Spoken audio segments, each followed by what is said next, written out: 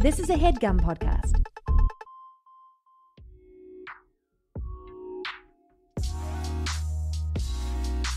Hey, this is Steph Farwell. Join me bi weekly at the Lemonade for all things nerdy and geeky, giving you all the sweet and sour notes from the nerd world, as well as my own special commentary to make this blend lemonade just right.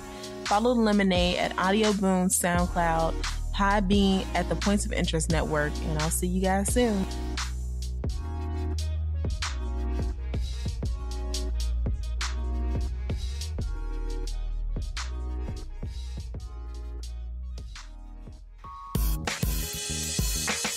Everyone. I'm teaming up with the website Rewire.news to explore the intersection of their work and mine on a brand new podcast called Get It Right. On Get It Right, we explore pop culture through the lens of justice, and particularly reproductive justice. I'll be talking to critics and creators about comics, movies, TV, music.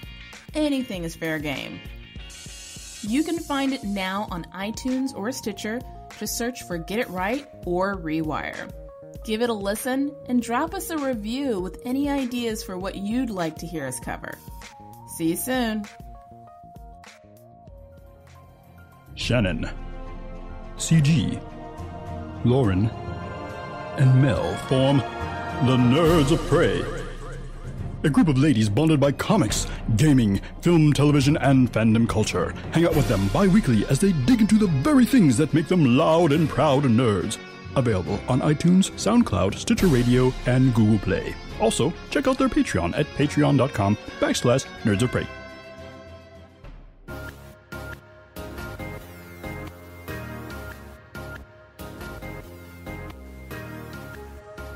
Right, you know what it is, what it was, what it will be. It's your main man, Jason Mitchell.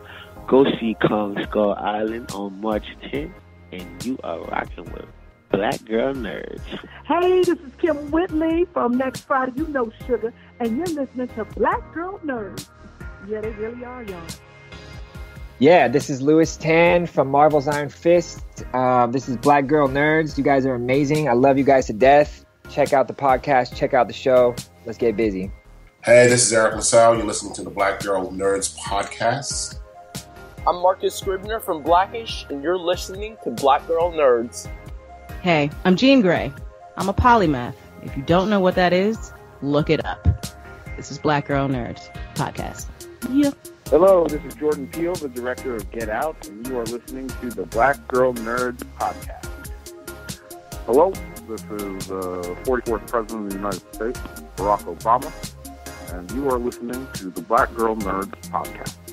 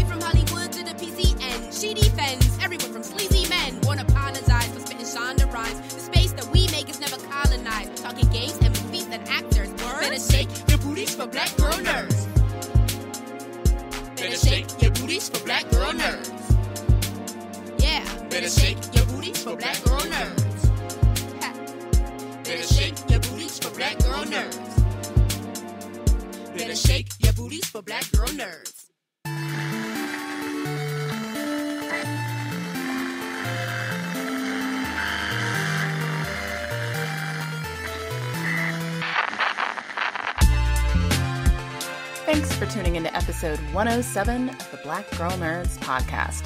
My name is Jamie, and I am your host. This episode is titled The Quad Fits and Starts and HBO's Insecure. Three segments. In our first segment, we invite writer, director, and TV showrunner Felicia D. Henderson. Felicia is the TV showrunner of BET's new series called The Quad, and she sits down with us on a one on one. That segment is hosted by yours truly, Caron, Tora, and Joi. In our next segment, we head on over to South by Southwest. We had a fantastic time at South by, and stay tuned for more podcast episodes featuring several interviews from the conference. and this segment features Jacqueline and the cast and crew of Fits and Starts.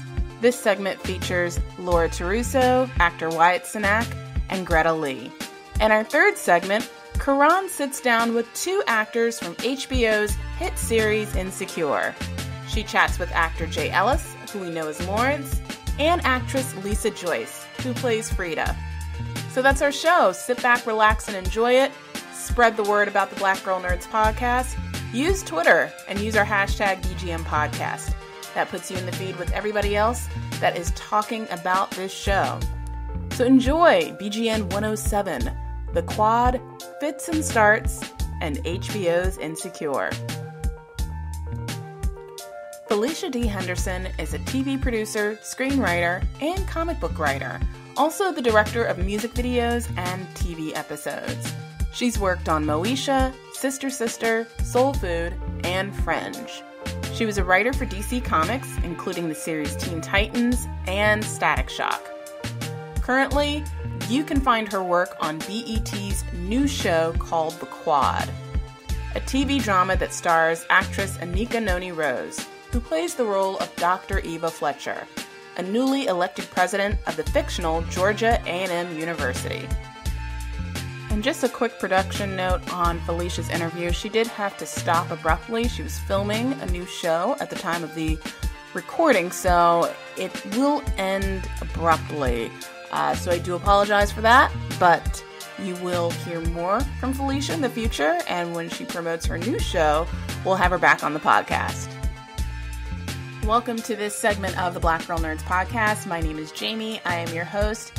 Very excited to have this guest with us on tonight. If you are a fan of BET's new show called The Quad, you're certainly going to enjoy this segment. We have TV showrunner Felicia D. Henderson, who is the executive producer behind and creator behind the series The Quad on BET. Felicia, thank you so much for coming on the Black Girl Nerds podcast. Thank you so much for having me. It was as you were introducing me, I was having such a hard time not just jumping in and going, "Yay, I'm finally here. I'm finally here." We're so glad you're finally here. It feels like it's a long time coming. I know you've been following the account for so long now. And I have. I feel like I was one of your OG followers. I love it. I love it. And we also have on the show with us our lovely co-hosts Caron, Joi, and Tora. Thank you, ladies, for coming on. Thank you. Hey I'm guys. excited. Thank you. so, I, you know, this show, The Quad, is amazing. It's a show that follows the life of a historically black college and university president and its students. And you created this series mm-hmm. along with Charles Holland. And I, I wanted to know what led you to this particular project and how much research did you put into this to make sure that it was accurate to the way we see HBCUs today? Um, God, that is such a good question, and um, I'm so excited to be doing it. And I think that the research, I, when I first started it, I I spent so much time. I think I have like a hundred pages of research. A lot of it just, you know, news stories and different things, and going to websites of, you know, probably 25 uh, HBCUs and reading everything from mission statements to what students had to say, and then, of course, everything you can find. And then, of course, there's the people research. And um, having uh, having had a niece and a nephew be educated at HBCUs, and then a ton of friends, and then of course, way back when Charles and I were writing the script before we even started, having eight, having BET executives who were educated at HBCUs, of course, slyly start to give us their stories, you know, and things that that was their experiences. So it was like, oh, you're so excited about this. Let me tell you what happened to me, you know. so that was all like so. Research sort of we we did our own, but it also kind of just came to us. Um, and so that was excited and, and exciting and always remembering too my first experience or the first HBCU campus I ever stepped onto, which was Howard. Um, and just what that feeling was as a girl from Los Angeles, um, you know, on my first trip to Washington D.C.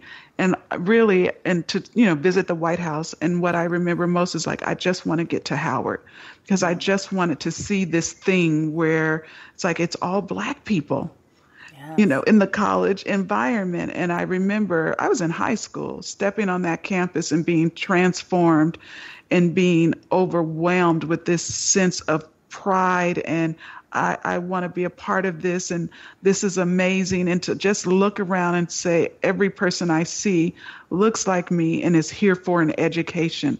That was something that stayed with me for years and years. And um, and I never lost that. Even when we stepped on the campus of Morehouse to shoot this show I felt it all over again particularly when you see you know young black men and knowing we're all here they're all here for the same purpose and just what I feel about education and you know and how education changes lives it it makes you so proud and just overwhelms you with sort of excitement and, and, and, and pride to be there. Well, as an HBCU graduate, uh, shout out to Norfolk State University. Spartans represent. yes, ma'am. um, it's it's really refreshing to see Black college life back on television again. Uh, so to, yeah. I, I, feel like I'm reliving some of my experiences watching this show. And uh, you have another uh, star of this show who's actually a Black Girl Nerds podcast alumni. Anika Noni Rose. yeah, she's yes, our yes, girl. Yes. Yeah, I'm a, yeah. I'm a, I'm a bigger black girl nerd than you are. I think that's the really adult conversation that I had with her about that. like before you start, I just want you to know how big of a nerd I am. Um, well, can you describe to us Anika Noni Rose's character of Dr. Eva Fletcher and what your thoughts of her being compared as an Olivia Pope type that runs the Georgia A&M University? Oh, that's so interesting. I hadn't heard that comparison yet, but I think that um, I'll just tell you sort of where where the the impetus for that character and it being her. Really, we've been working on this since, believe it or not, like almost four years before it ever came to the screen. Um, and so for me, it was on the heels of the first the 2008 and then the 2012 um, elections where I still was thinking about Hillary Clinton and, and the run against Barack Obama and, you know, those ideas of, you know, uh, the cracks in the glass ceiling. And so I, I was just so fascinated with this idea of what does it mean to be a woman now, today, where we think, you know, there's gender equality, um, to come into a very male and a very historically male and, you know, state environment that no woman has ever been in before. The, the, the our fictitious school, Georgia A&M, has never had a woman president. So this is a woman who comes from who's from Connecticut and she comes from money. She comes from a wealthy family. Then she, you know, met her her husband in college and he she got her PhD in education or in philosophy and he got, you know, a, a law degree and and eventually became a judge. And they have one child.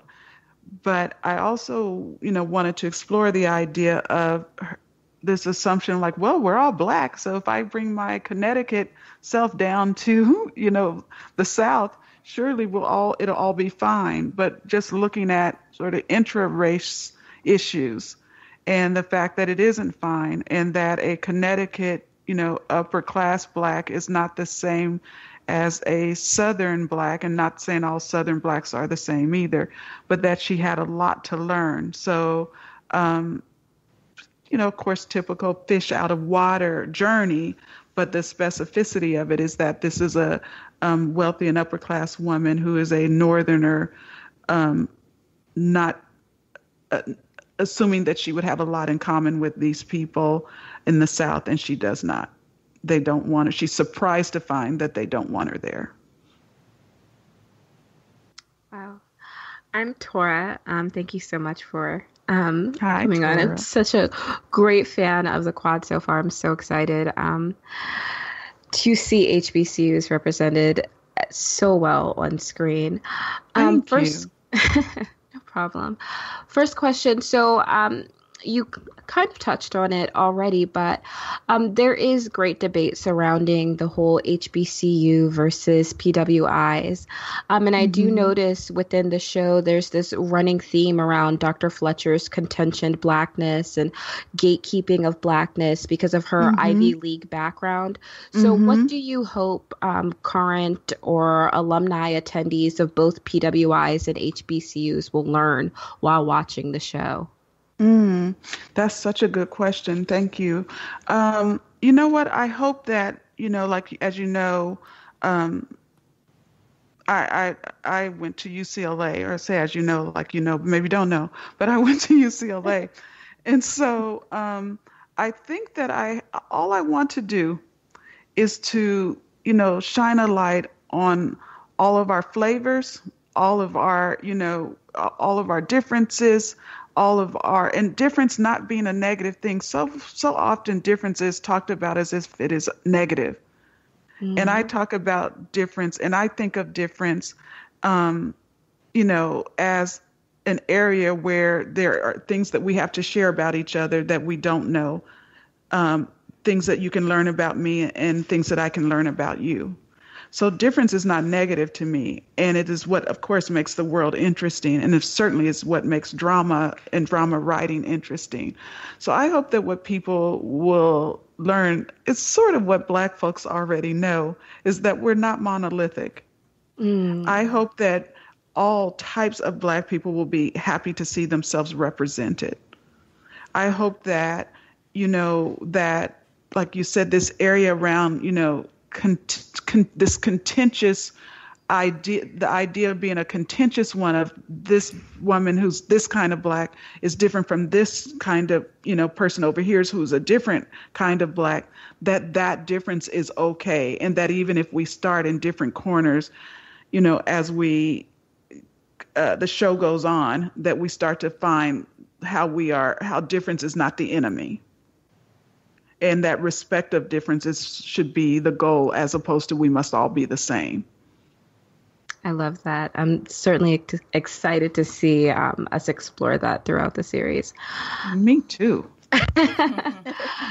so um, I'm sure, well, maybe you don't pay attention to um, the news media, but um, I did notice that there was an open letter from some of the no, was there HBCU presidents.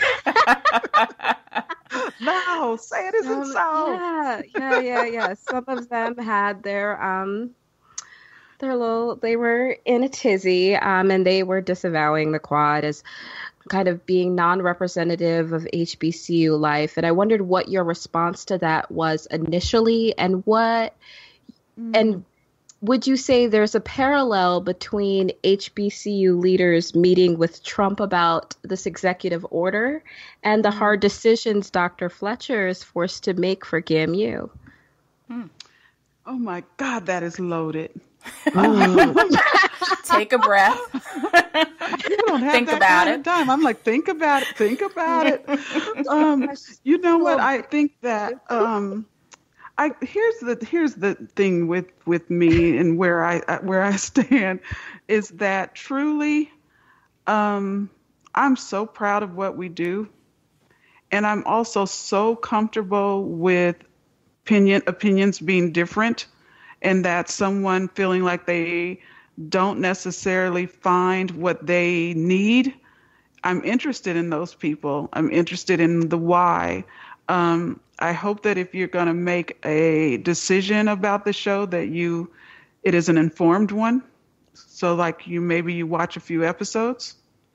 Right. Um, I hope that, um, and I, and I guess I know what I'm doing. You know what I mean? I know what my goal is. I know the joy I feel when the I can look around and say, wow, this crew, which is an A list amazing crew, you see the show and what it looks like, um, mostly looks like me. So I think I'm so proud of what we're doing that I'm okay with people not being happy with it. It's not going to be for everyone. It would be probably boring if we tried to be everything to everyone. So this is a, you know, so I I don't, you know, I don't know. And I also look at it as an opportunity, I guess, to teach. You know, I'm a teacher in my soul. I teach at UCLA. I think that for me, if I have a issue with it, I'm my goal is always, you know, to to teach. You know, I'm I'm a, a very active aunt in the lives of my nieces and nephews, and so I try to make decisions that show them what you do when you don't like something. And so I think that's always about communication. What would I've done if I didn't like it and I was, you know, in a, in a place of academic learning? I would say, I'm going to bring this person here and talk to me and talk to my students so we can have a debate, so we can start a dialogue, so that I can make sure I understand what they are trying to do before I decide I don't like it. I want to make sure that the things I say about it are actually correct. Um, so that's what I would have done. Um, but at the same time, I don't put a lot of focus on it because I know what we are actually doing and I know how I feel about my people. I'm such a happy and proud person to be in my black skin. Um, I know the amount of black folks who have jobs because we are doing this show. I know how many, you know, we're interested in diverse opinions about storytelling. So, you know, in the writer's office itself, in the writer's room, I think we have, you know, our from everyone from our production assistant went to Howard, um, Charles Holland, the other co-creator, his assistant, you know, uh, executive assistant went to Hampton. Um, three of the writers on staff went to HBCUs. So it's important to have those voices in the room for authenticity's sake. But um, we're also just telling stories about our people. So it certainly feels um, like you're telling those stories, and it thank you, certainly thank feels you like very you're much. telling those authentically. So Thank you. Thank you so much. And it's okay. Like, even if you go, gosh, I really didn't like the story when you whatever, I'm so, I'm interested in that. Mm-hmm. You know, because I can learn something from you. So it's all good. That's, I guess, the, the short version is it's all good. But they realize this is a drama and not like a documentary, right? Like things are going to be exaggerated and dramatized for the sake of, you know, fictional television. Yeah, I would I would argue though, if it were a documentary, you'd be in more trouble. exactly that, that's that's what my point. A That's what my documentary, point you was know, because I, the, I the don't goal think of that is to tell the truth. And, Right. and while we're taking, you know, lots of our stories come from a very real place. You know, there's the episode where the water gets turned off. We didn't make that up. Right. Mm-hmm. You know what I mean? And we didn't make up hazing. But we do try to do all these stories with dignity and the idea that we showed hazing, but we also showed this amazing woman. What we showed that may have been unrealistic in that story is how quickly she was able to get the hazing rules changed. I mean, the rules regarding uh, what happens to you when when students are hazed changed. We did that all in one episode. Obviously, it wouldn't happen that quickly, but that's what we did with that information. It happened, but her goal was to get it the rules changed so that if somebody did that, there would be severe consequences. So, you know, I hope that people will look at all that we are saying and not just look at the negative that that, that they're unhappy with. So, hi, this is Joi. Um, Joi. I had a couple. Uh, hi, how are you? Good. Um, I had a question talking about your broader writing career. So, between writing for Family Matters, Fresh Prince, uh, Moesha, and you and you wrote and developed uh, Soul Food and uh, the ter- the TV series, you've been consistently writing essentially Black TV gold, right? So, how have you developed Black developed? TV gold. I love it. it's true. Yeah. Um, Classics. Yeah. So how have you developed your six your sixth sense in choosing what projects, uh, especially black projects, to be a part of? Mm. Well, you know, I would love to tell you that I am the master of spotting black TV gold, but um, that would just be a big old lie. I just, I'm like, well, there's this thing just called the grace of God, and that I know I have plenty of. Um, you know, it really is true. It it that I'm like, I've never been on a show that failed. I've only been on hit shows, and then I thought, no, there is that one show that I was on. That, but over this, you know, 20 plus years of writing, I've been on just hit shows. Nice. And what a blessing that is. And, you know, transitioning from comedy to drama. I have friends and, you know, and people like yourselves who will say to me, when you left comedy, how did you know it was time and comedy was going to be dead for a while and drama was where it was? And I was like, I didn't. I just knew I had an internal thing that was like, I'm ready to do more storytelling than joke telling. I was just ready to grow as a writer. And so I pursued drama and the timing just happened to be right. Um, so much of what has happened for me has just been relationship based.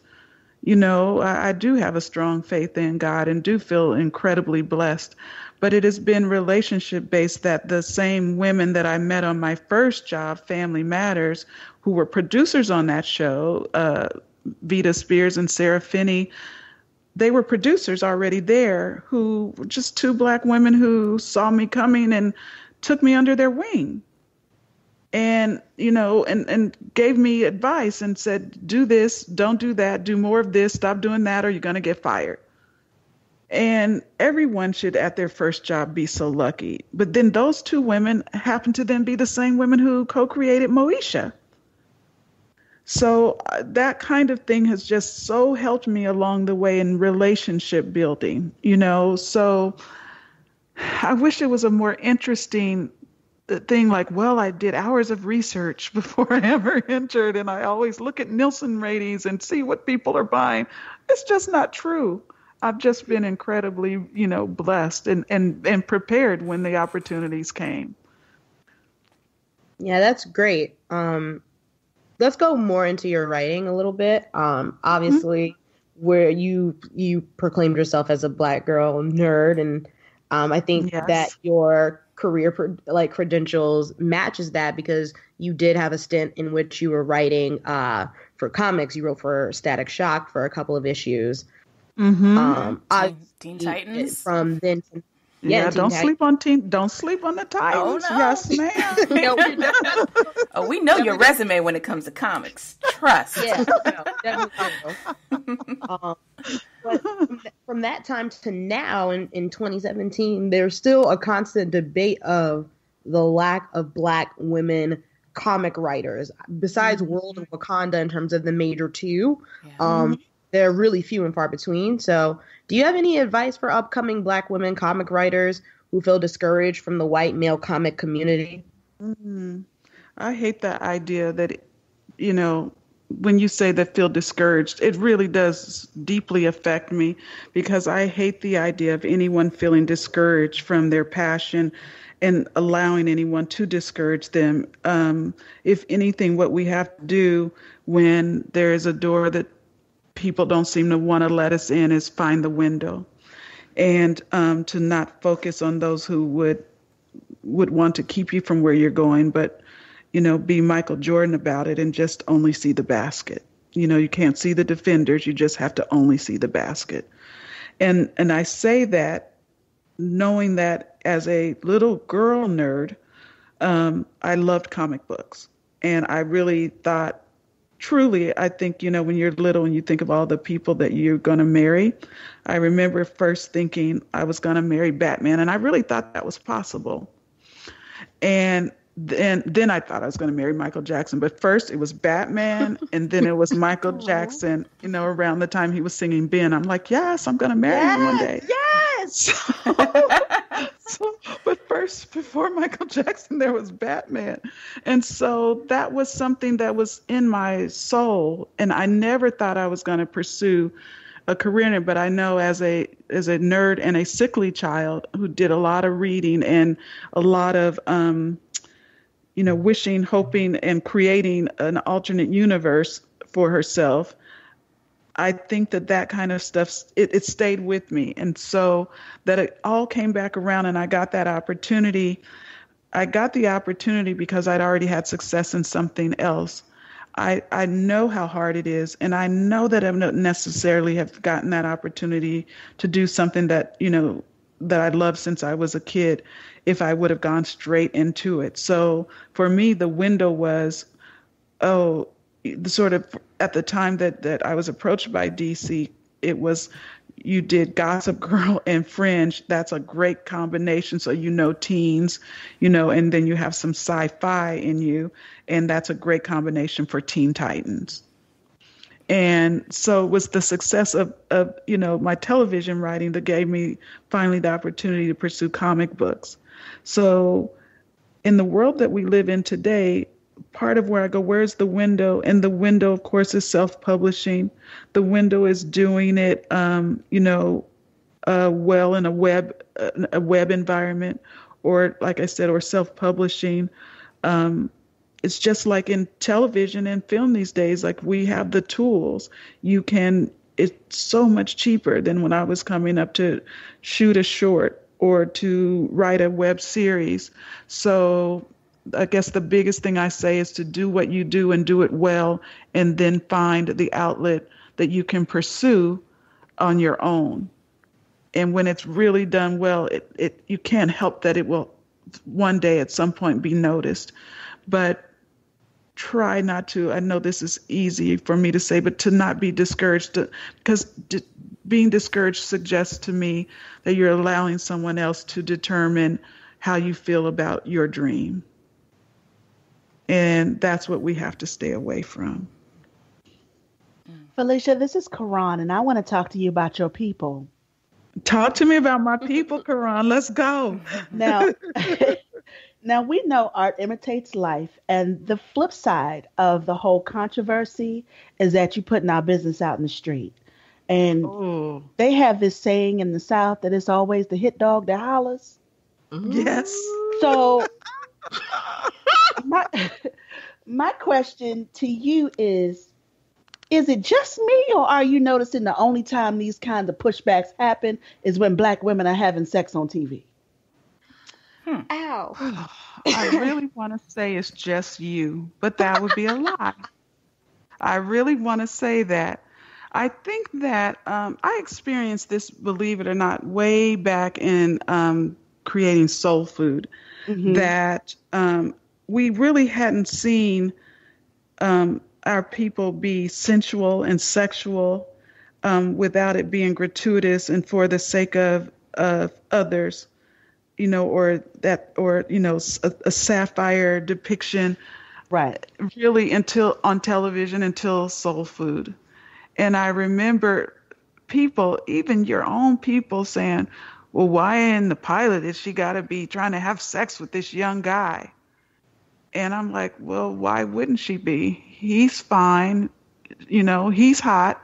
She wants him. Why wouldn't she? And it was just very, very important. Like, even a married couple, we just never saw it.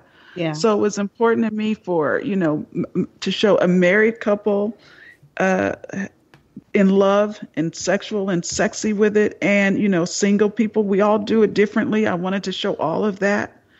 And so there's still something about you know our sexuality that makes even us uncomfortable and partly i think because we never see it unless it is again for the sex of it. Mm-hmm. and um, and for someone else's enjoyment.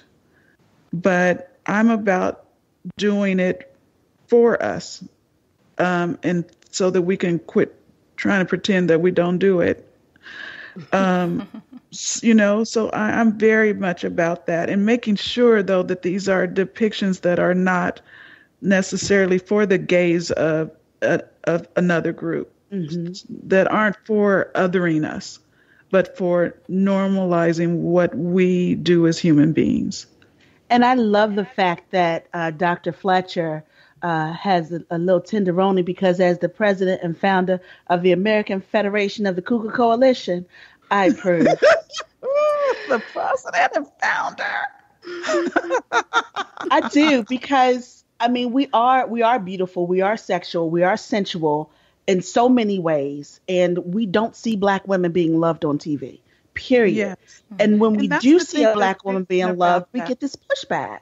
Yes, and and that's um, thank you for for making that distinction because yes, he is a tenderoni, Yes, Lord. but that's he loves her. He loves her, and so this is not just about oh gosh. Now, by the way, she's a freak, Mm-hmm. I and love it. and if they give us a second season, you will see what a freak she is. However, this man loves her. So for me, that is why, look, I, you know, what I mean about this is not for someone else's gaze. This is a relationship between two people, and it's not typical where he's just trying to get an older woman and then he's ready to move on. He really has fallen hard and deep for this woman and has made some silly decisions because of it. television television is a really long game. You mentioned before that it's taken four years to get this uh, on air. What uh, what about the quad has kept you motivated during that time? What is the thing about this show in particular that kept you moving forward to push to see it through? Mm, that is a good question because I will tell you that there were some difficult times along the way where you're like, it's not going to happen, or, you know, let me give up on it. Um, and I think a couple of things is that I thought about how much our people need to see. And I think uh, it goes back to that feeling I told you the first time I stepped on the mm-hmm. campus of Howard that I have to believe that other people could would feel that too, that feeling of stepping on that campus if they could see it on television. I wanted other people to feel what I felt when they saw, you know, the environment of people who look like us, who are all there for one reason. But um, that's what I was. I wanted that feeling. I wanted the feeling for others of an audience of what I felt the first time I saw a different world. Mm-hmm. In our next segment, we head over to Austin, Texas, over at South by Southwest. Jacqueline sits down on a one on one with the cast and crew of Fits and Starts. Fits and Starts is about a struggling writer who's been toiling away at the same novel for years. His wife Jennifer is a literary figure who just released her new masterpiece. When her publisher invites the couple to an artist salon at his home in Connecticut, the pair embark on a twisted journey and David must face his demons and try not to be too weird among the salon guests and competitive art set in attendance. In this interview features writer-director Laura Terruso, Greta Lee, and actor-comedian Wyatt Cenac. All right, so um, this is Jacqueline, and I'm here with the cast of Fits and Starts. We're here at South by Southwest, and I'm here with Miss Greta Lee, the star, along with the director, Laura Terruso, and also the star, Wyatt Cenac. Uh, thank you for sitting down with us, guys. Thanks for having us. Oh, great. So last night was the premiere. You guys got to see it with the audience for the first time, right?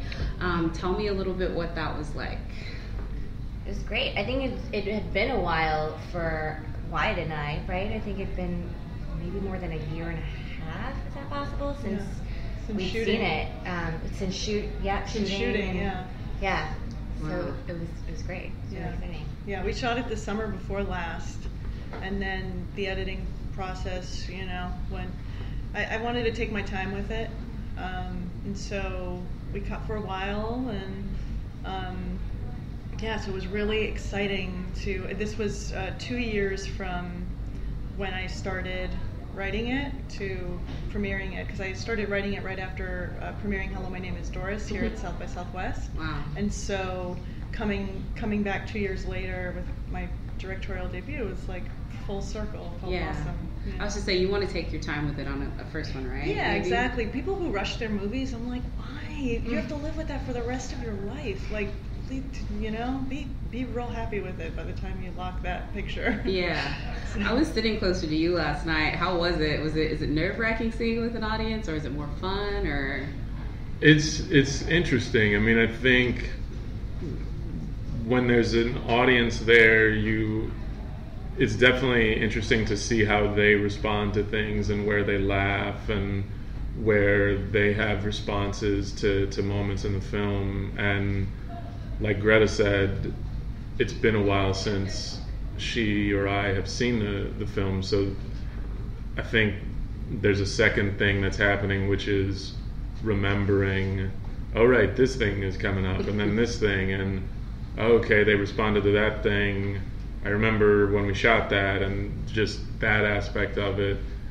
And then there's the, I think there's a strange insecurity around you've done something, and I think I'm the type of person that whether it's doing a show or putting anything out for public consumption, it's kind of like, okay, I did the thing, and I'll see you never. And so Yeah, the can't idea, change it. Yeah. yeah, but the idea to then, oh, okay, people like there's a Q and A after, and I and just being faced with those things is definitely a little. It's a little strange. I I think even when I do shows, I'm rarely the person that's going to go hang out in the bar afterwards and like, oh yeah, let's let's download and like let's go through it all. It's kind of like, no, you got the thing.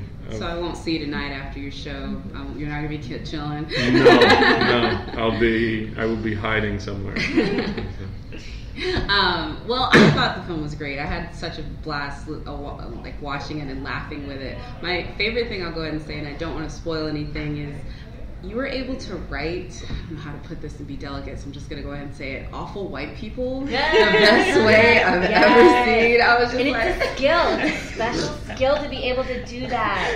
So I have to ask you: Were you submitted to really pretentious and awful, you know, white privileged parties where they made you read like a trained That is a good question. I want to know. I want to know the answer. That is a good. That is such a good question. I I I love satire. It's like something that I I gravitate towards, and I just find myself doing when I sit down to write. And um, you know, and I tend to write about things that I know. And so, you know, I was saying last night in, in the Q and A, it's like with um, "Hello, my name is Doris." We kind of found ourselves satirizing the, the hipsters, uh, and with this film, we're satirizing the art world. And yeah, and the art world is full of pretentious, obnoxious, privileged white people. Yeah. Uh, Why? What's interesting about this question is when you wrote it, I don't think you necessarily had set No. out to. No, I never sit it down and go, I'm gonna. Right. Yeah, Like you yeah. didn't know David and Jennifer were going to be played by Oh, like an. Asian person or a black person or what? It wasn't like that. Yeah. So it's interesting that that. Yeah, that was gonna be my next question. So this was cast blind, as far as you just wanted to find the right actors for it, right? Absolutely. Love that. Yeah. That's It's obviously the So awesome! It is so rare that that happens. Yeah, still. I, right? I mean, it's just. I was really lucky in that I, you know, in, in writing the script, I, I think writing is a very mysterious process. Where you sit down and you basically submit yourself to the unknown in your in your s- brain, you know, Mhm. and it's and it's like you never know what's going to come out on the page. And um, in my work, it's like uh, yes, I love satire, but it, it always has to be rooted and grounded in a single character Mhm. whose journey we are following and, and who we can identify with. So in Doris, it was it was Doris Sally Field, and and in Fits and Starts, it's David. It's it's Wyatt's character, and and that person grounds us and gives us uh, an anchor to in which to explore this the world that we end up in. And so um, I was really really lucky in that you know when I sat down and wrote David, I you know I I thought about Wyatt and I dreamed that Wyatt would do this, but you know, it, it, I I had no idea if he would say yes. Um, and I was very, very lucky in that when we sent him the script, he read it and met with me, and we just, you know, like we got a good vibe off of each other, and and and then from there, you know, I had worked with Greta on uh, High Maintenance.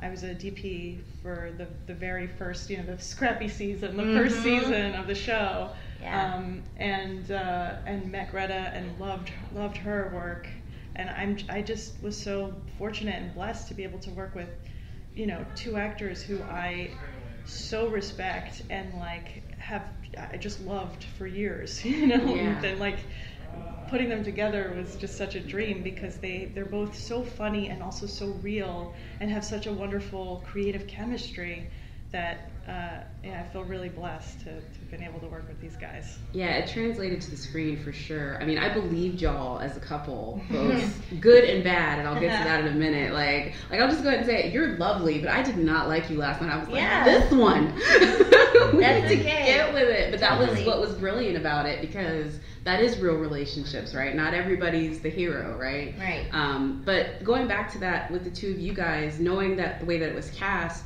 when you guys got cast together, was that something y'all talked about as your dynamic as a culture, uh, your cultural dynamics, and how you brought that together as a couple? Like, how did y'all kind of discuss that, or did you discuss it at all, or you just said, "Hey, we're just going to be a couple," and and assume that this is already known, or how did you go about it?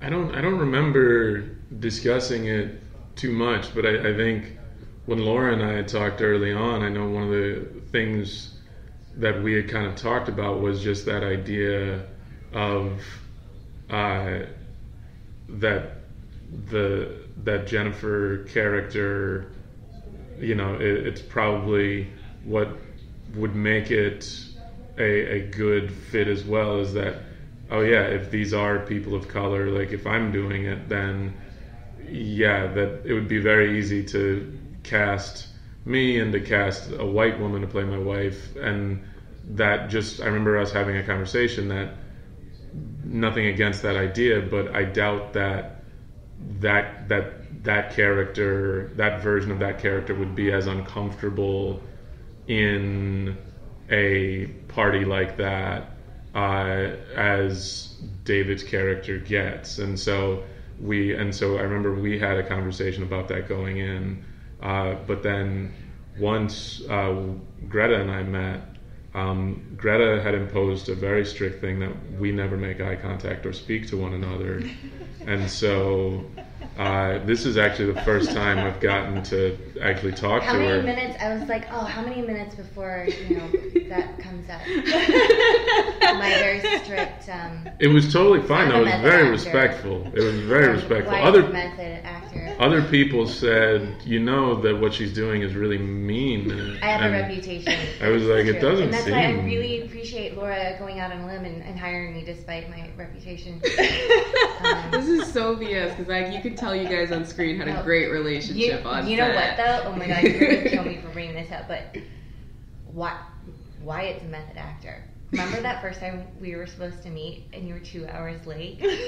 Oh, that's Remember right. that? yeah. No Yeah. joke. So you were I- trying to be the okay. character already? No, Oh I think I forgot. I didn't know what time. this for real for a second? That's even past It Snoopy. was so, like- like that's really Oh, no, bad. it was very Oh yeah, late. two hours late. And there's so many snacks, such nice, nice snacks. But two hours, you go beyond the point of like recovery. Like, Like, there's in this- no amount of snacks that's gonna disguise the fact that you, You know, want to hear a story about how like I was abducted by these Sure. guys And on the was side of the awkward because road? I remember it was like well, it was awesome in my. happening. No, it wasn't. It was. It was nothing awesome. It was. I thought it was an hour. I thought that we were supposed to meet at like eight, and it was seven. And so Oh. then, and then I think as I was leaving, I texted you and I was like, "Are you coming? 'Cause we're here." Well, basically, And- that pretty much set the tone Yeah, for yeah, the rest yeah, of it. Um, it was like, oh, cool. So yeah, we're we're married. Are you kidding me? Yeah. And it was like, I, I, all- for a moment, I thought, oh my god, this is genius. Yeah. The producer set this up. Laura, I cannot believe her. This is genius. I and all it was was that dumb dumb can't read an email. Yeah, I will say this though. That was one thing about the film last night because I went into it. I really like at festival films not to get too deep into knowing about it because you see so many films in a small setting that if you get too deep into each one, you don't enjoy them as much. So all I really knew was that you both were writers and one was more successful than the other, and it was written by you and you did "Hello, my name is Doris." I literally that was all I had tagline Mhm. going into it. And then last night when I got home, I was like, okay, I have to read more. But um, I loved that I didn't realize that it was the dinner party from hell until I was in the middle of the dinner party from hell. And I really Yeah. hope that if people go to see that, that's the only tagline that they have is Oh, like, yeah, don't, don't, good. you know what I mean? Like, Mhm. don't don't read too much into it other than that because I loved that whole dynamic. What was that like filming that? Um, because I imagine you're in one place. Mhm. Yeah, set up. Uh, well, we shot the film in 14 days, which is absurdly fast for a feature. Uh, and so we were really, you know, we were hustling. I was We gonna say it was warm. It was very and it warm. was so hot. It was the hottest summer. It was like 90 degrees, and we're like in this house, and it's just hot. And Wyatt's wearing a wool blazer for the whole damn movie. Yeah. There were scenes where, I you, don't where I had him running, You don't and he was though. running around in a wool blazer, and this man does not sweat. It does- it's I- so Yeah. it's so Like, weird. Eerie. That's, It's that's never alien sweat. almost. Possibly hypertension. You're, Yeah. check your thyroid. Yeah. It's all right. I'm just like sweating balls, and Wyatt was always just so dry, just Dry, just dry, crisp, crispy. Yeah. Every day Yeah. crispy. Never, never like not a bead, not a single Nothing. bead. I'm like completely drenched, Yeah. red as just yeah, hair, like- makeup, just just throwing powder in my face, and Wyatt's like, "What? It's all." Yeah.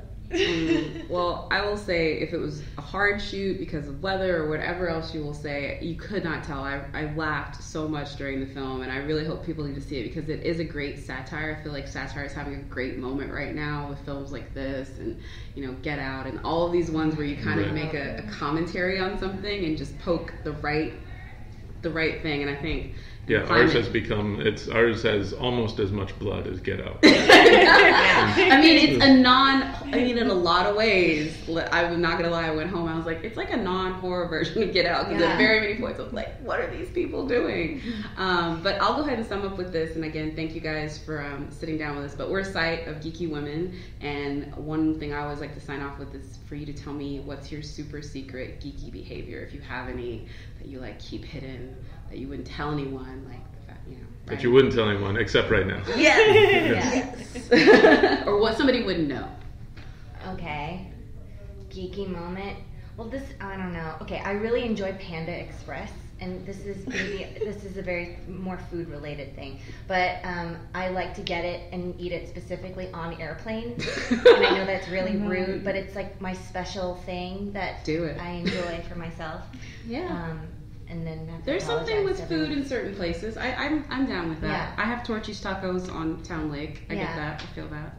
What about you? I mean, I'm I'm geeky. I'm I'm a I'm an out geek. I'm out of the closet, full geek. Like there's what- no. I, what- I, I mean everything. Okay. Everything I do.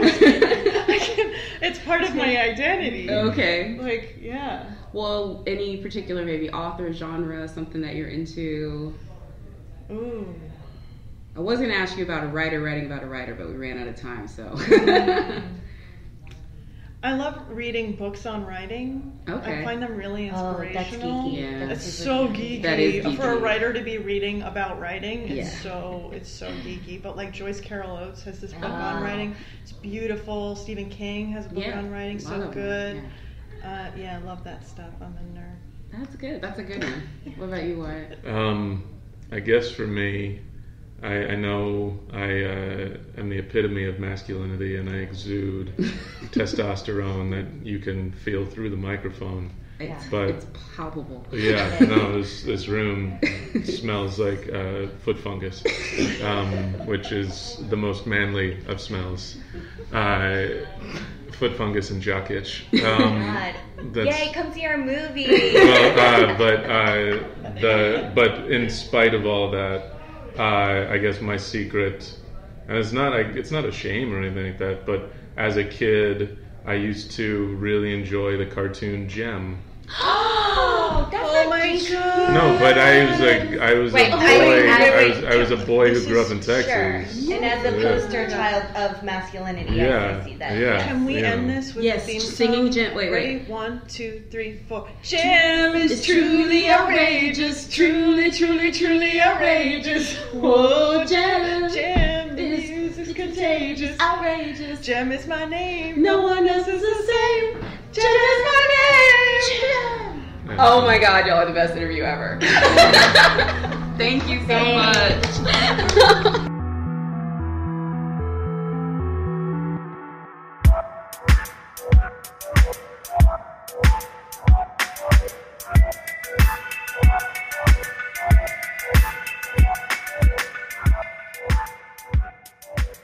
Insecure is an HBO original comedy series created by Issa Rae and Larry Wilmore, which is partially based on Issa Rae's widely popular web series, The Misadventures of Awkward Black Girl. The show also features actors Jay Ellis and Lisa Joyce. Jay plays the role of Lawrence, Issa's boyfriend, and Lisa Joyce plays Issa Rae's co-worker, Frida. We start first with actor Jay Ellis and then Lisa Joyce in this HBO Insecure segment. Hey guys, welcome to the Black Girl Nerds podcast. I have a very, very special treat for you today. Our guest has had us gasping and swooning for quite a few years now. He is insecure. He's my favorite lazy Lawrence. He is Jay Ellis. Welcome to the Black Girl Nerds podcast. Oh, thank you, thank you for having me. That was that was a that was a really great intro. I just want you to know. Why, I thank you. I do try. I figured short and sweet was good for you. now, we love ourselves some Jay Ellis, and many people came to know you from the game, but I understand you are. You just got involved with another one of my imaginary loves. You did the video for Bambi with Jidenna. Oh yeah, I did. Uh, Jidenna called me and um and was like, "Yo, I need you for like two hours. Can you come down here and do this thing? It's gonna be fun. We're doing this. It's about the video." He sent me the treatment for it, and I was like, "Man, I'm in. Let's do it." And um, I went and worked with uh, uh, uh, uh, Jidenna and his team. He's got such an amazing team um, of just passionate, smart, talented, like musicians and filmmakers, and just like such a great group of people. And then he um, he brought in Megalyn, Yes. amazing actress. We love her. LA. Yeah, came in and crushed it, and we have fun, man. We we we uh we we have fun, and and that dude can act. I didn't, I you know, I didn't get to work with him. Obviously, I got to see him on Insecure, but I didn't do scenes with him. But Mhm. I was so impressed by like how much you know he puts 110 percent in every single take. It was a pleasure watching you in Insecure. How has being involved in Insecure changed things for you? Um, yeah, I'm I'm big for saying it. It I'm always big for saying like, oh, nothing changed. Life's still the same. Like I still do the same thing.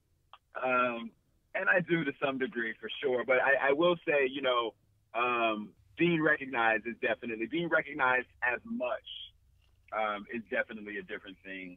Um, you know, there's there is a, a lot more.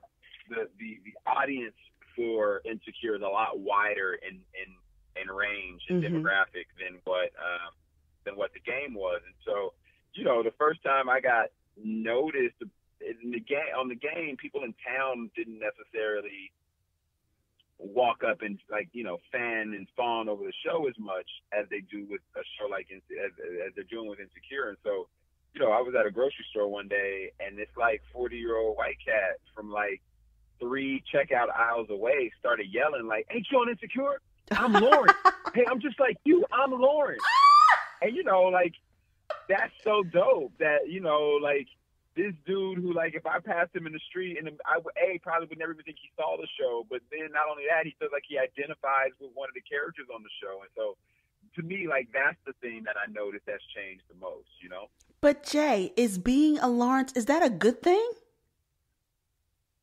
Yeah, I, I absolutely think so. You know, I think that that you know, I think for us to think that you know Lawrence's story. I think what's so interesting about Lawrence's story is Lawrence's story is the story of so many dudes out there, whether it's current, whether it's in the past, whether it's in the future to come. You know, I think that we all kind of get, and and this isn't just a a, a male thing either, but I Mhm, think mhm.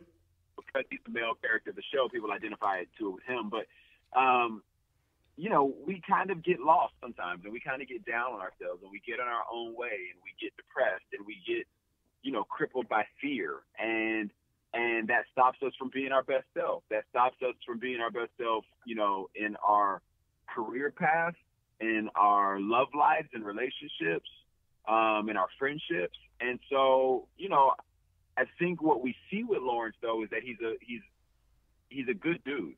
He's a well-rounded dude. He's Mhm. smart.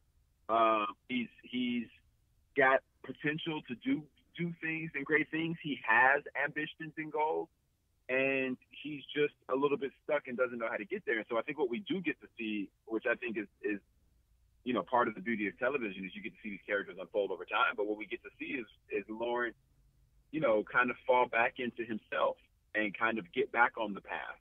And you know, even though it's starting with a job that he probably typically wouldn't take, Mm-hmm.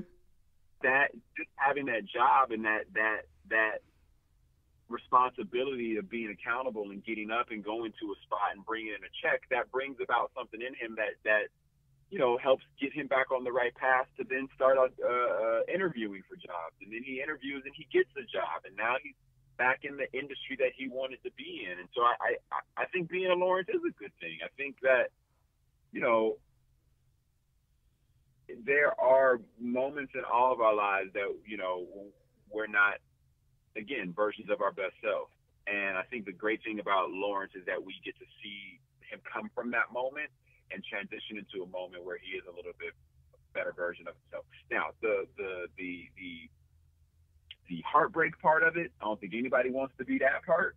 Um um Yeah, that was but, rough. you know that's, part of that's part of life that's part of what happens Now, we had a number of roundtable discussions around Insecure. We've done Insecure giveaways. Uh, we've been around our little water cooler, our little nerdy space. We've talked about the relationship between Lawrence and Issa and Molly and everybody else. But I really want to know what parts of Jay identify with Lawrence, if any. Um, you know, I think there's a couple different ways. You know, I, I can identify definitely with being in that space. I mean, you know, when I started acting, you know, I probably had six, seven, eight different jobs. I was probably in a different job every year, um, every other year, every year and a half or something like that, and and wasn't passionate about any of them and was just doing them. And it kind of gotten in my own way. You know, I, it, for me, there was this kind of circle where it took me a minute to get back. I, I came out here to act, and immediately was hit with rejection. And that's part of what this industry is is is, is hearing no until you hear a yes Mm-hmm. and then a couple more yeses. But you know that when I was initially being hit with that rejection, I couldn't take that, and I was told it, and I was like, "Yo, this ain't for me." Like I'm not jogging across town all day long, be stuck in some audition behind a bunch of actors, and then being told I didn't get the job. Like, nope, not gonna do it. And when I realized I was, I was afraid, I was fearful, I was getting in my own way, and it put me in a place where then, like now, I'm out just doing my version of a of a Best Buy job, right? Mm-hmm, mm-hmm. And like for me, I think I can identify that with with with Lawrence. Um, I didn't have what Lawrence had in Issa, where like somebody could pay the bills. And- Right, because we weren't sure we- about that part. Because he had money in the bank and we wanted Yeah. to know why. Well, you know, you know, I mean, you know, I think the thought is that you know what we talked about for for Lawrence is that he did have a job before. Um, he probably saved some money, had a good job, and probably saved some money, Mm-hmm. and then also was getting unemployment. So he was bringing in some money. Okay, you know, got it. he wasn't he wasn't he wasn't not providing a hundred percent, but it definitely wasn't 50-50. Okay, got it. Um, but you know, he wasn't he wasn't a good partner. You know, um, most of it was falling on Issa's shoulders. But again, you know, I, going back, I just I can relate to that. I can relate to being in that place and and being lost. And then I can also relate to you know the one little thing that helped you turn a bad situation into you know chasing your dream or chasing your your your your calling or your passion. Have you ever thought about turning back and not acting during those times when you were facing rejection? Uh, have I ever thought about not acting? You said. Yeah, have you ever thought about giving up? Have you ever seriously considered giving up? Because it is a lot of rejection. Uh, no. You know, I think I've got I've just gotten okay with it, I, and I don't want to say okay with it, but I just understand that in the same way that accountants crunch numbers and are busy from the beginning of the year until you know just after April fifteenth. Uh, you know, I've just gotten to understand that being told no is part of my job sometimes until I'm told yes. And I don't think of the rejection as uh, a detriment. I don't think of it as personal rejection or personal me personally being told no. I just think of it as I'm not right for that project, and that project is not right for me. Um, because you know what's what's for me is out there and is mine, and nobody can take it away, and vice versa. You know, I look at I look at some of those, you know, some of the other shows that are out there, and there are plenty of them that I auditioned for, and some of my friends got those jobs, and I, for whatever reason, I wasn't the guy, and I'm grateful for that. And that was their that was their blessing, their moment, their calling. That was their job, and they're supposed to be there. So I don't look at the rejection as as this negative thing on me. I look at it as, all right, well, I just moved to my next opportunity, but this person got that moment to shine and deserves it. Now, I also understand and, that and you I were. never, and I, I and I would never quit. You know, I'll probably be one of those people that I'll be acting from a wheelchair. Well, I'll be grateful to see you in a wheelchair in the pool on the side of the road. I'll be glad to see you continuing in film and television. I love you on the big and the small screen. Do you think being a military brat has helped you become better at quick adjustments? Yeah, I, I, definitely think that um, you know I think there are situations where I I realize how I can. Um, I, I think it's given me an opportunity to just be able to relate to people. Mhm. I, I, think- I think it's given me an opportunity to be able to adapt to different situations. I think it's given me an opportunity to to um, be able to understand, have compassion, be able to empathize, to be able to relate um, to situations and to and to people. So yeah, I, I definitely think it helped. It's helped. It's helped me to adapt. You know, you're you're constantly being thrown into something new, and you got to figure it out. You got to figure out how you're gonna swim. You know. Well, I'm I'm pretty sure you know you are a brilliant and beautiful man. Your mama's brilliant. Your daddy's brilliant. What do you do in your spare time for fun? Oh man, what have I been doing for fun? Let me tell you. Um, Because let, let me just get this in there. Your dad served, what, over 15 years in the Air Force? yeah. And your mom is like the chief financial officer of everything? Yeah, she was a banker. she was a banker for a while. Yeah, yeah. She um she um was a she she's recently left, but she was the CFO of a of a pretty large financial corporation that owned a bunch of banks for a while. And so you know, I will say one of the amazing things I learned from my parents who've been together for 35 years and have had success in their careers. And, you know, my dad maybe misses one day of work a year. Like he's just a get up and do it kind of guy. And both of them, I will say, you know, outside of the work ethic and my extreme, uh, and my extreme, like, you know, uh, uh, uh, passion for what I do and getting up and doing it like hundred percent every single day, never half-assing it, as my dad would say. Mm-hmm. Um, you know, outside of that, I will say, you know, one of the things that I did pick up, I have picked up from them is, you know, finding those moments to to celebrate yourself, to relax, to let your hair down, to to breathe, to to have a little fun. So for me, like, yo, you can call me tomorrow. We we can go go kart. We can go do go karts. We can go do trampoline dodgeball. We can go. Uh, Now, I love- will call you. um, I just started. Um, I actually just started uh, uh, yachting classes. So I'm Oh, getting wow. a boating license. Um, uh, I, I, I I love languages, so I try to get in and out of a language class a couple times a year. Uh, usually either Italian or Spanish, just to kind of brush up. Um, so you know, I, I I love just grabbing a beer with my boys and watching a basketball game or a football game. You know, I, I I- you know, I, I find myself, you know, for all the amazing and beautiful things that I get to do, I find myself like loving the simple things. Oh, hearts are breaking everywhere, just gasping and swooning. Jay, who's about to be on the yacht, who's going to have a boat and be on the waters. I want to thank you for spending a little bit of time with us today. We support you at Black Girl Nerds. Where can we find you online? Um, J.R. Ellis is on my social media, uh, or my Twitter and my Instagram. Um, the real J. Ellis is my Facebook. Um, yeah, I'm, I'm usually on one of the three of those. Thank you so much. Any final words for our Black Girl Nerds? Um, yo, stay nerdy. Hey.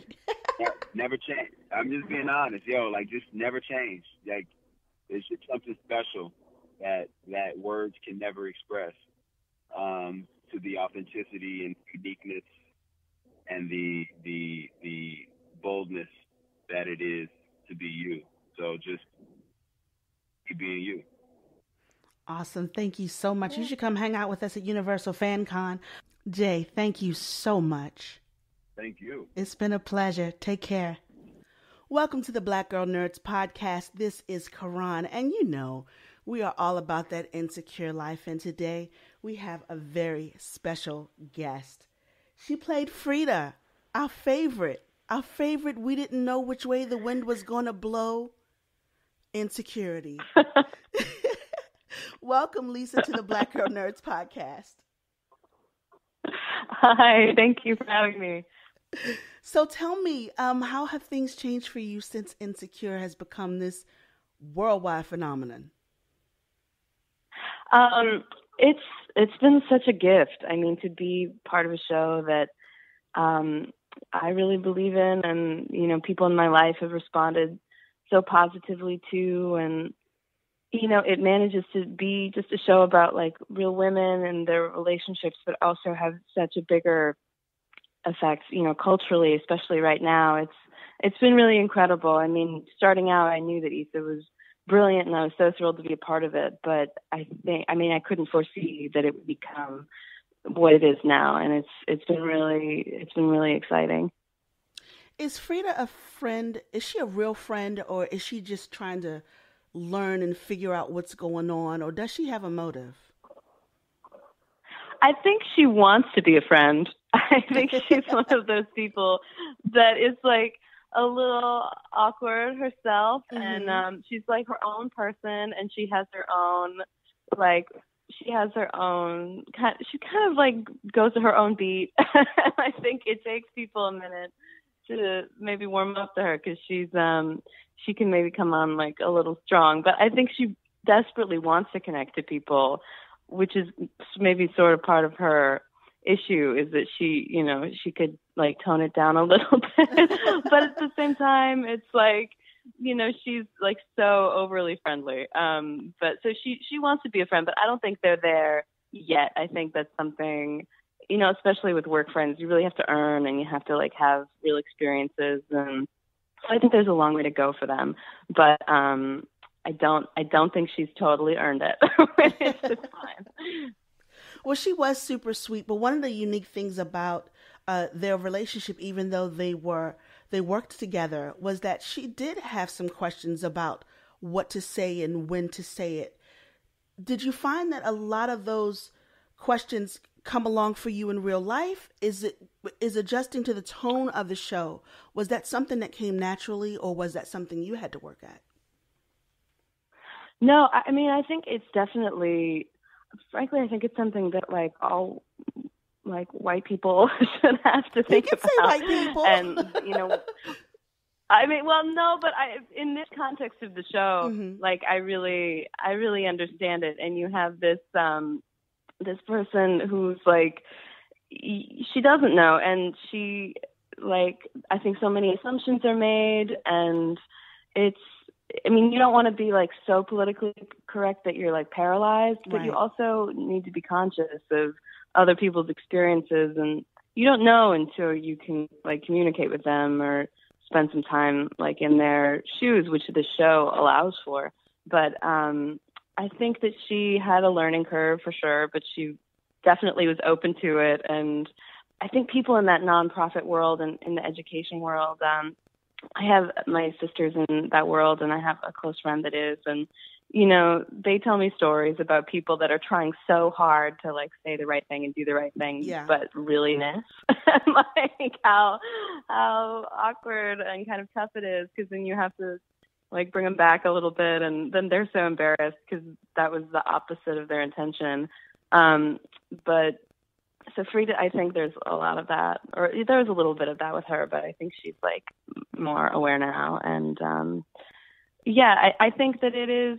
It's really just about curiosity um, and not thinking you know about other people's like experiences or lives, and you know asking questions if it's appropriate, um, not making assumptions, and yeah, and and like and wondering like, about other people's yeah and i think that that you know we life moves so quickly and um we put we put labels on people just to like organize our you know our day and like to see what we're dealing with. But if you're trying to build a relationship with someone you really have to have a curiosity about them and um so i appreciate that with her on the show I completely agree. How did you first meet Issa? Um, I auditioned for this actually. It was uh, like it kind of came out of the blue, and then I watched her web series, which was incredible and so much fun. Um, and so I auditioned, and then I went through that whole process, and I got the job, and it was such a gift.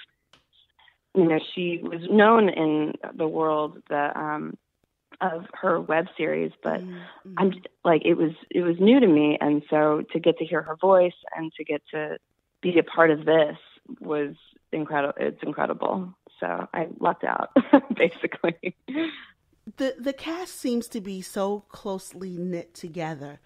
What do you guys eat for lunch? Do you guys dine together? yeah, we really good catering that show provides.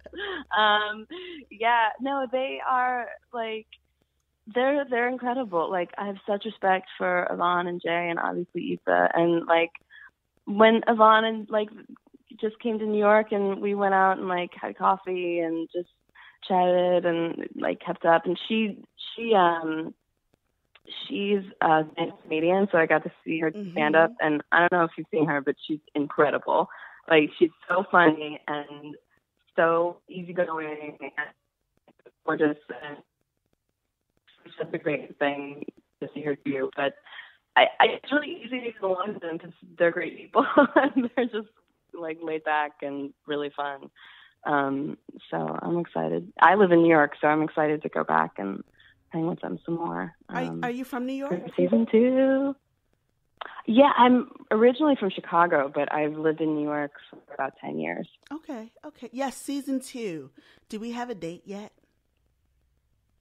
Um, I don't know. We started shooting in April. Okay. Um, so I I assume it'll be the fall again next like October, September, October. But don't don't take. I don't know. We are so, so I don't. we are so excited. lead anyone astray, but I assume. we are so excited about Insecure season one, which will um, which is available on digital. And we actually had a giveaway. We had a giveaway for the soundtrack as well as for uh, season one on digital. What is your primary insecurity? Are do you see yourself in the characters of this show? Um, what's what's incredible is I see myself in all the characters. Mhm, like I see mhm. myself in Lawrence, in you know having to take a job that you feel overqualified for, or um, and in Yvonne, just like what I say Yvonne, but um, with Molly, you know, like thinking that relationships are going really great and then like the rug gets pulled out from under you. Or you know or thinking that like a guy's not that great and then realizing like he was amazing. I'm an asshole. Like, that you like i totally see that. And then with Issa just you know in your 20s like wanting to get the most out of your life and whether it's career or relationship be like is this especially if you're with someone and you've been with them for a long time or a job for a long time, you're like, this is good, but like, can I, should I be striving for something else? Am I settling or should I be thankful? You know, like all those questions. So they're just really well rounded characters and they're dealing with really universal things. And so, I mean, that's one of the, yeah, it's um, like one of the many strengths of the show is just how relatable each of them are, even though they're so different.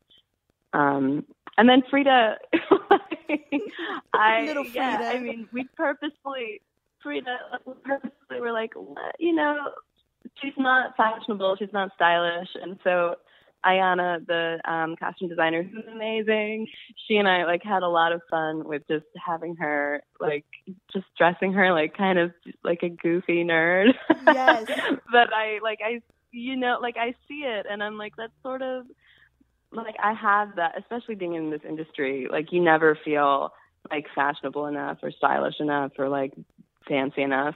And so it was cool to just like let it go and be like, well, she's not that. and like to own it. But um that's definitely like being in this industry is something that you come up against and it's like it's it's so much. Do, do you self do you self identify as a nerd? As a nerd, of course, yeah, absolutely. What, what's your, Like, what's your I'm nerd proud. thing? Um, do you have a thing, or I'm is it nerdy. just a I mean, I guess.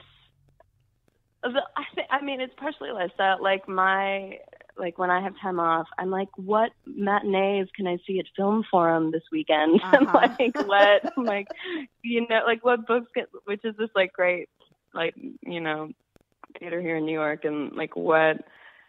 I, I don't know. I'm just like reading books about I don't know, like, global warming. I don't know. Like I'm just I'm very like into the environment and film and um cats, you know, like nerd like nerd flags. that I really that I care about those things. I think I do. So yeah, I definitely self identify as a nerd. when you sure. were when you were young, what did you want to be when you grew up? Did you know you would be an actor? No, it's funny. I, I get, like I thought I would be like everything, which Mhm. makes sense now that I'm an actor. But it was like every week, like an astronaut, the president, you know, like a magazine editor. Like it was like every week was something else, and then so now I get to be different people, which it worked out. Um, but yeah, I didn't know. I know some people have they just like know right away, and I didn't. My none of my family's in the arts, so I never really saw like examples of that. And I thought, um, like the profession seemed very far away and Mhm. like another planet. You know, it seemed I was like, that's those people aren't real. like that's not like a real thing you can do. Um, so yeah, it's a surprise to me to to be doing this, honestly. Which is so funny because my entire family is in the arts. My my dad's side is photography and visual art. My mom's side is music and theater, but nobody did it full time. So when when we Oh. started to to to work as artists full time, it was like you can't make a living doing that. yeah, I know. I know. yeah, yeah. No, I definitely have had like that, you know, for like a decade as well, being like, how do we supplement this effort? yeah, for sure. Yeah, it's tough. Thank you so much for joining us today. It's really exciting to talk to you about Insecure, about Frieda, and to learn a little bit more about your life. Oh, well, thank you for having me and for the interest. This, like I said, being part of the show is such a gift, and I'm just any chance to to talk to people about it, I welcome. So thank you so much for having me. I really appreciate it. The Black Girl Nerds podcast is produced by Jamie Broadnax. Various episodes are edited by Jamie Broadnax, M.R. Daniel, and John Bauer. The opening theme song to our show is written and performed by Sammus. Various instrumentals are performed by Sammus, Sky Blue, and Shubzilla. You can find episodes of the Black Girl Nerds podcast on iTunes, SoundCloud, Google Play Music, Stitcher, Spreaker, and Spotify. That was a headgum podcast.